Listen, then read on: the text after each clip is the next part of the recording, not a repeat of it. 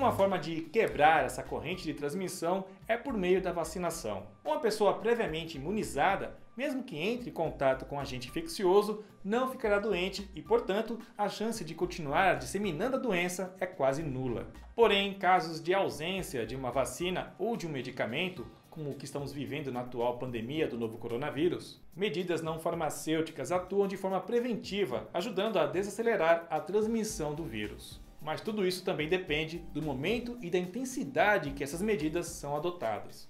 Higienizar as mãos corretamente antes de tocar os olhos, nariz, boca, especialmente após espirrar ou tossir, e manter-se a uma distância segura de outras pessoas, no meio de locais fechados e aglomerados, ou mesmo adotando o isolamento social em casa, são alguns exemplos de quebra de corrente que estão ocorrendo aqui no Brasil.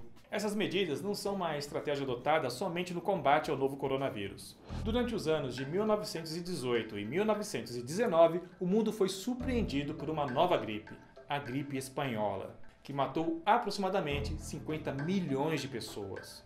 Nos Estados Unidos, as medidas de mitigação não farmacêuticas foram adotadas, como o fechamento de escolas e comércios, o isolamento de pessoas doentes e quarentena em casos suspeitos.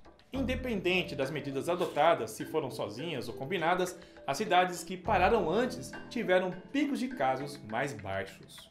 De modo semelhante, as intervenções que ajudaram a reduzir o contágio pelo vírus da gripe suína, H1N1, lá nos Estados Unidos no ano de 2009, incluem o fechamento de escolas, fechamento de locais públicos e medidas de isolamento.